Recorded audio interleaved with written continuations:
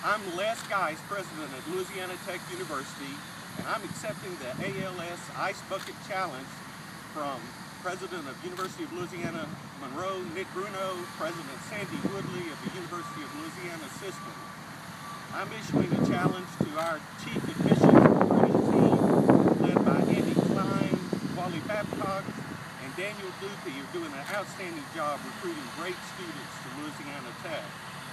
Also going to make a contribution to a very strong donor to Louisiana Tech, one of our distinguished alumni who fought the big fight against ALS, Bobby Rawl.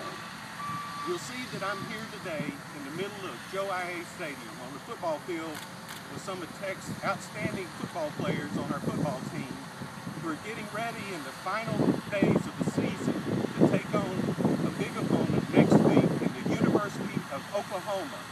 Go Dogs!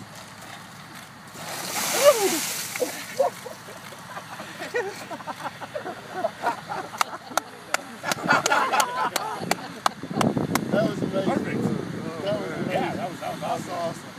That's amazing. Yeah, thanks for All right, that. that was good.